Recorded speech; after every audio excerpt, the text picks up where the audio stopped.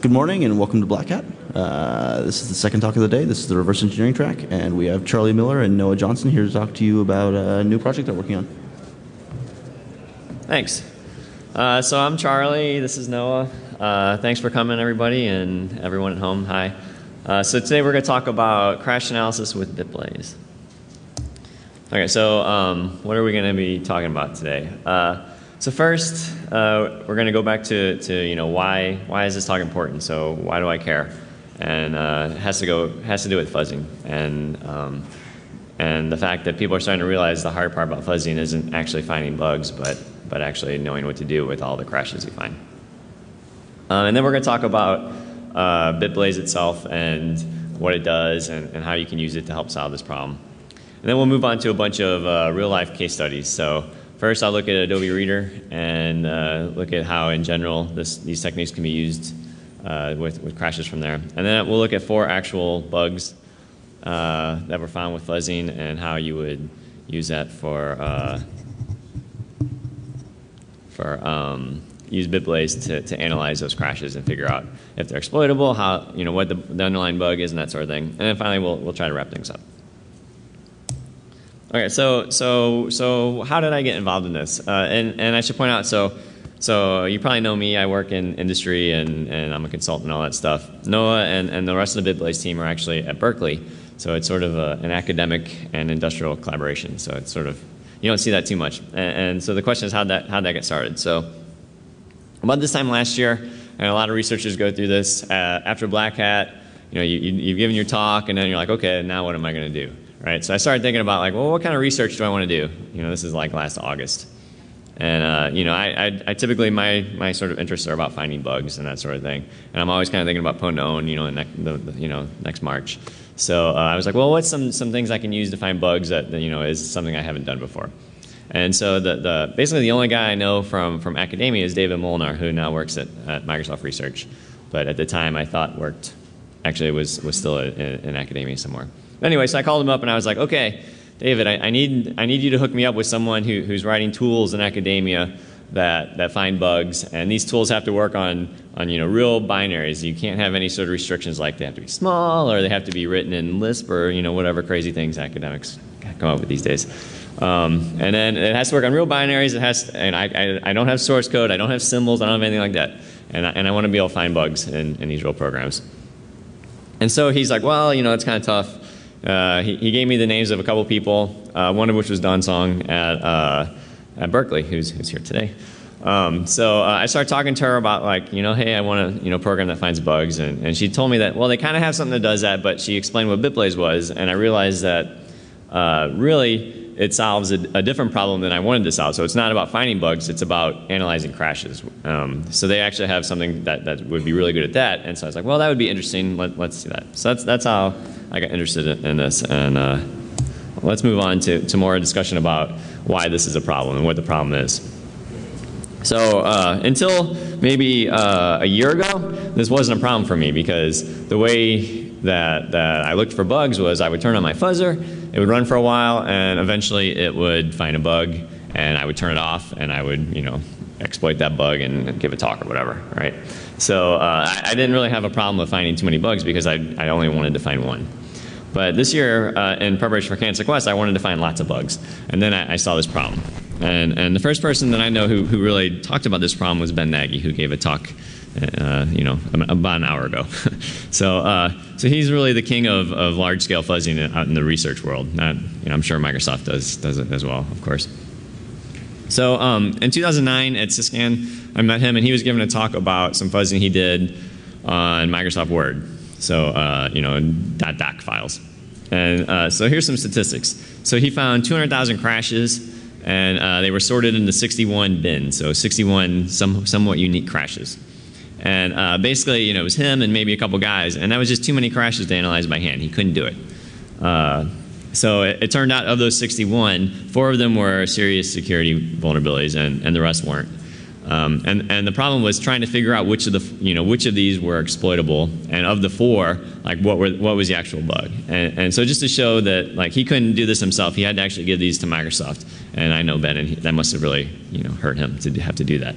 So uh, he, he gave it to Microsoft and they, they helped triage them. And, and the point is, it was, it was too much resources needed to, to analyze all the crashes. Okay, so, um, so then I, I, I, had this problem as well. So uh, part of I gave this talk at CanSecWest, and in, in, some ways, this talk is sort of the continuation of that talk. So at, at that talk, I, I uh, I, I, talked about all the fuzzing runs I did, and I found you know a ton of bugs, and and I, there were way too many. I couldn't analyze them all. So, uh, for example, in preview, I found 1,300 different crashes, of which uh, CrashWrangler says there was, there's really 220 unique ones, of which 60 are exploitable. So there's just no way that I can look at 60 bugs and 60 crashes and try to figure out what the bugs are and if they're really exploitable. This is too much for me to do. Likewise, in Adobe Reader, there were 30 to 40 crashes that I found and 70 in OpenOffice. So it's like, you know, this is a serious problem. And, and there's actually a lot of talks at Black Hat this year talking about that. So, you know, I'm not the only researcher who, who's noticed this. Right, so um, more just about this. So, so uh, the hard part now, I think, uh, which is sort of sad, right? It should be hard to find bugs, but it actually isn't. So the hard part isn't finding the bug, it's, it's, it's sort of prioritizing which of the crashes to look at, um, figuring out which of the ones are exploitable. For the ones that are exploitable, figuring out what the underlying bug is so you can either fix it or exploit it, depending on who you are. Um, and then uh, the other thing is, while fuzzing, eventually you can get it so automated that you can just turn it on, walk out of the room, and come back in a month, and, and there's a bunch of crashes uh, trying to figure out how to, you know, what the underlying bugs is. You can't really automate that. You can just make it easier. And so that's sort of the point of this talk is uh, tools to, figure, to, to reduce the time from crash to knowing what the bug is or, you know, even further writing the exploit. All right, so now I'm going to pass it on to Noah to, to tell you guys about BitBlaze. Okay, so I'm Noah. I work with uh, Professor Dawn Song at Berkeley, and of course, I've been collaborating with Charlie over the last few months. Uh, so, BitBlaze is this binary analysis infrastructure that allows us to effectively analyze binary code. So, in this talk, I'll give sort of a high level overview of the two main research focuses of the BitBlaze project. Uh, uh, the first is to be able to build a sort of a unified framework uh, that allows us to very effectively analyze binary code uh, and sort of addresses the common needs of security applications while also being easily extendable. Um, and then once we have this platform, the second research focus is to be able to use the platform to enable a wide variety of new security applications. So this picture sort of visualizes what I just talked about. We want a unified platform that we can use to solve a whole bunch of different types of problems, right? So let's look at why this is hard first. Of course, in security applications, we can't avoid having to deal directly with binary code. Oftentimes we want to analyze commercial software that we don't have the source code for or malicious code and attackers don't usually release the source code along with their attack, right? So we need to deal directly with binary code and unfortunately binary code can be very hard to deal with sometimes as everyone here probably already knows, right? So first of all, binary code is extremely complex and our analysis system needs to be able to model this complexity accurately if we want the analysis to be correct. So the size of and complexity of modern architecture instruction sets make this modeling very challenging. Uh, another challenge is that binary, of course, is different from source code in that it lacks higher level semantic information. So, as a specific example, the, uh, the function abstraction doesn't really exist at all at the binary level. I mean, we can have call instructions, but I could call any arbitrary address, right? That doesn't tell me anything about where function boundaries are. Uh, and so, we need to be able to deal with this. Also, lots of times we want to be able to analyze operations within the kernel and interactions between multiple processes. So this requires a whole system view, which poses greater challenges than in just traditional single program analysis. And finally, we need to remember we're trying to analyze malicious code sometimes, and code doesn't always want to be analyzed. So uh, malware commonly employs anti-analysis techniques like code packing, encryption, or self-modifying or dynamically generated code. So, based on these challenges, we have a couple sort of high level design goals which motivate the architecture of the BitBlaze platform. The first is that we want the platform to be able to accurately model the behavior of programs. Okay? So we build precise formal models and then allow tools to sort of accurately reason about the program execution behavior symbolically. We also want to build a core set of utilities that sort of address the common needs of security problems, but is, can be reused or maybe target different architectures and easily extended. Uh, and finally, of course, both static and dynamic analysis have their own strengths and weaknesses. So, static analysis is more complete in that we can explore multiple paths, uh, but it's limited by things like uh, indirection and pointer aliasing and a general lack of higher level abstractions. So, dynamic analysis is, in, is not limited in these same ways, but we can only analyze a single path at a time. So, ideally, we'd like to be able to combine both static and dynamic analysis to sort of leverage the relative strengths of both wherever possible.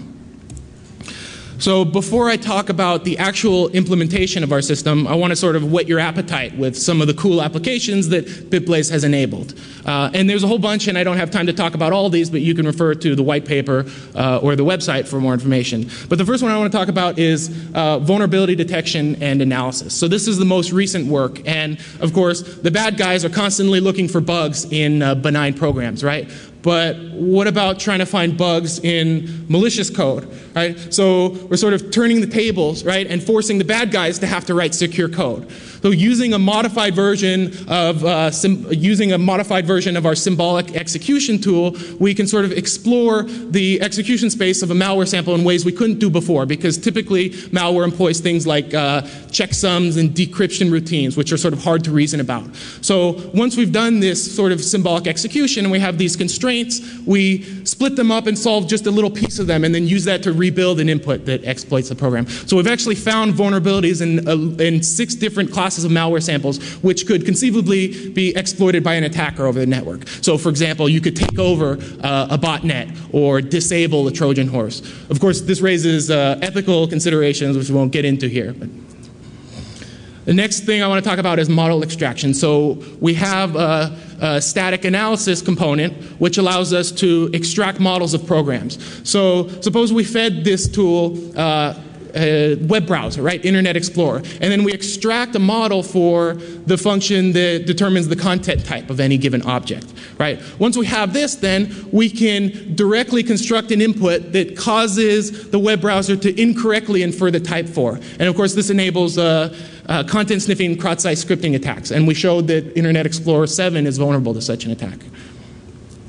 Um, another application is protocol reverse engineering. So, in security applications, oftentimes we want to understand network protocols or file formats. And traditionally, this is a manual process and is very time consuming, right? But we have this dynamic analysis component of BitBlaze, which allows us to analyze program behavior. So, if we give this tool a program that implements a given protocol, then we can watch exactly how it processes messages in that protocol. And how it processes and parses these messages and constructs its own messages gives us a wealth of information about the structure of the messages as well as the semantics. So using that, we can then semi-automatically rebuild the protocol without access to the source code.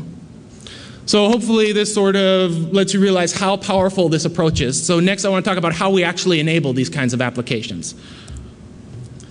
So BitBlaze is split up into three core components. The first component is a static analysis component called Vine, and Vine lets us do static analysis and symbolic execution, and it also provides a set of sort of core utilities for common types of analysis. The dynamic analysis component lets us run a program in an emulated environment and perform very fine grained uh, binary instrumentation and also extract semantic information from uh, the operating system as well as the program and perform dynamic taint analysis. And finally, we have the symbolic execution components. Currently, there are three of them rudder, bitfuzz, and fuzzball. And these components use the functionalities which are provided by Vine and Temu to enable uh, symbolic exploration. So, for a given program, execution path, these tools can generate the symbolic predicates that the inputs have to satisfy to follow that path.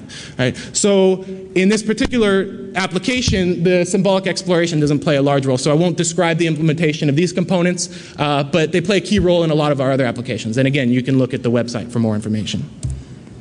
So the first thing I'll talk about is this static analysis component, which we call Vine. This is sort of a high level overview of Vine. And Vine is split up into a platform specific front end and a platform independent back end. And then at the core of Vine is this intermediate language, which we've developed to be small but also flexible in that it can accurately represent the different types of assembly languages that our tools use. So then in this architecture, instructions from a binary program are translated to the intermediate language by the front end, and then all back-end analyses are done on this intermediate language. So this is convenient and, and allows very